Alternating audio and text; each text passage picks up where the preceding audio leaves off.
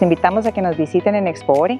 Este año vamos a tener varios productos del Departamento de Colorado, además de compañía de nuestros cooperadores de los Estados Unidos. Vamos a tener degustación de productos y como sorpresa vamos a tener un seminario de cerveza artesanal. Los invitamos a todos a que vengan a visitarnos. Soy Laura Calzada del Departamento de Agricultura de la Embajada de los Estados Unidos.